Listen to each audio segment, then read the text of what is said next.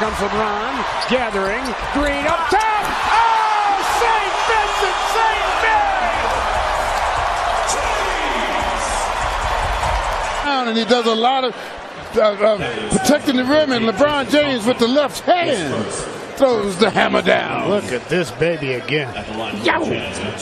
He just had to adjust it. Yeah. We have reached the point with LeBron James and his legendary career that the incredible almost seems ordinary. He has made our jaws drop so many times it's hard for him to clear the bar of amazing anymore. He did Saturday night against Utah. In transition, LeBron gave up the ball to Jeff Green, who returned the favor with an alley oop pass. Just not a particularly good one, it was behind James. So he reaches back with his left hand and throws it down as he ducks his head under the backboard. Then LeBron stops and stares at his left hand, like he can't believe what he just did. We can't either.